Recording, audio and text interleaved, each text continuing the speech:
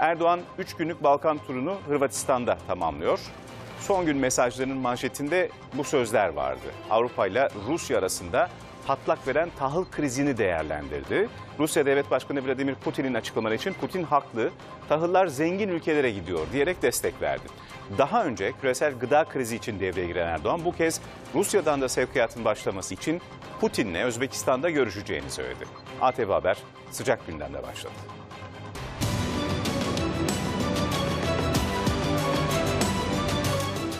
Sayın Putin'in tabii haklı olduğu bir konu var. Tahıllar maalesef zengin ülkelere gidiyor.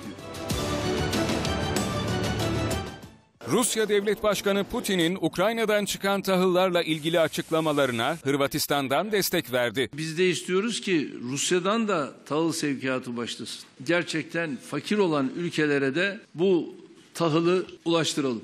Cumhurbaşkanı Erdoğan, Avrupa ile Rusya arasında patlak veren tahıl krizi için net konuştu. Sıkıntının kaynağı olarak da Bosna Hersey'in ilk lideri Alija İzetbegoviç'in o dönem imza atmak zorunda kaldık dediği Dayton Anlaşması'nı gösterdi. Rusya tarafından henüz tahıl sevkiyatı yok. Burada gecikme var. Bunu aşmak için Semerkant'ta Sayın Putin'le bu konuları da etraflıca görüşeceğiz ve temennimiz odur ki bir an önce Rusya tarafından da tahıl sevkiyatını başlatalım. Bu yaptırımları yapan ülkelere tahıl sevkiyatının olması Sayın Putin'i de rahatsız etmektedir. Küresel gıda krizinin çözümünde önemli rol oynayan Erdoğan, bu sorunun çözümü için de Putin'le görüşeceğini duyurdu. Batı'ya enerji krizi üzerinden de seslendi. Enerjide fiyatlar yükseliyor ve şu anda Avrupa bu kışı nasıl geçireceğinin telaşı içerisinde.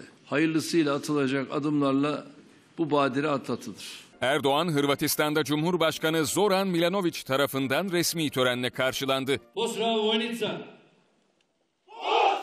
İki ülke arasında üç anlaşma imzalandı. Her alanda işbirliğinin ilerlemesi için adımlar atıldı. Ticaret hacmimiz 900 milyon doları yakaladı. Erdoğan kendi adının verildiği İslam Kültür Merkezi'nin açılışını yaptı. Erdoğan'a Hırvatistan İslam Birliği onur ödülü de verildi. Bu merkezin diğer dinlerden dostlarımızın da vakit geçirecekleri şehrin başlıca buluşma ve kaynaşma adreslerinden biri olacağına inanıyorum. Cumhurbaşkanı Zagreb'de vatan anıtına çelenk bıraktı.